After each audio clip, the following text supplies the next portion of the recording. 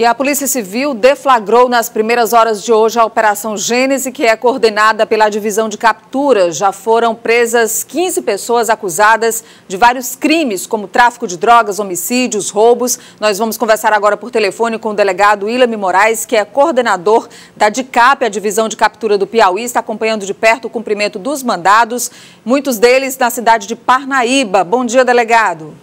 Bom dia, bom dia a todos. Só atualizando, né? São até agora 17 pessoas presas, sendo 15 na, no, na, em Parnaíba e duas pessoas presas no estado de São Paulo. Delegado, essas pessoas, como eu dizia, são acusadas de vários tipos de crime. Exatamente, né? Nós, nós escolhemos aqui aqueles crimes que afetam mais a sociedade, crimes hediondos, como tráfico de drogas, como estupro, né? homicídio. Então são crimes bastante, bastante violentos que a gente resolveu então é, fazer essa primeira operação do ano aqui na, no litoral piauiense, tirando do centro de sociedade essas pessoas que se encontravam há muito tempo foragidas da justiça. Essa investigação demorou muito tempo, delegado? É, a DICAP ela, ela tem uma diferenciação de outras delegacias.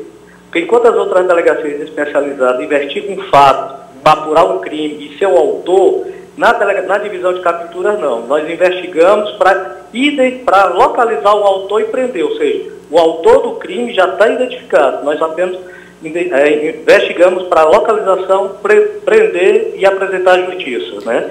E essa investigação, para ser realizada aqui em Parnaíba, nós passamos, já estamos aqui há mais de cinco dias no litoral, fazendo levantamento dos alvos, como era um montante muito grande, nós solicitamos apoio, nós temos aqui vários órgãos da segurança pública, nós temos a Força Tarefa da Segurança Pública que está nos auxiliando, nós temos a Delegacia Regional de Parnaíba que também participou, temos através do delegado Aquino, através do delegado Igor, através do delegado de Luiz Corrêa, nós temos aqui a delegada Laura, do 24 Distrito, que está nos auxiliando. Nós temos aqui também o Eduardo, o delegado Gustavo Junto, do Greco, que também está nos auxiliando. Então, para poder realizar uma operação gigante dessa, era necessário que a união de esforços de vários segmentos da segurança pública, e foi o que ocorreu.